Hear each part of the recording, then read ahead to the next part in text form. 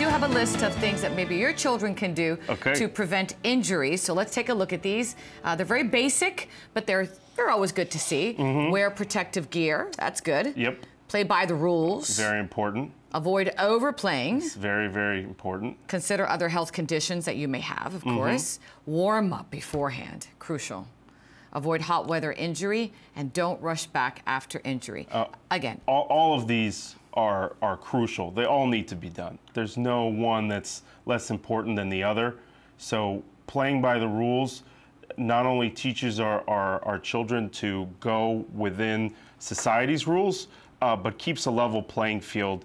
A lot of the rules are put in place to avoid injury.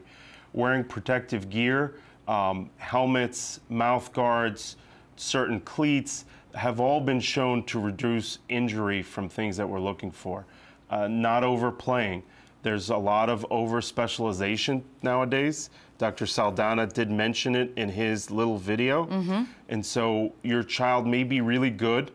And so coaches are going to seek out your child. And so they're going to be on the high school team. And then they're going to be on a club team. And then there's a summer league. And now they're playing 12 months a year, seven days a week, because a lot of people are under the assumption more is better. More is not better when it comes to kids. You want to give them at least one day off every seven days, and they should be taking one month off every six months from that particular sport.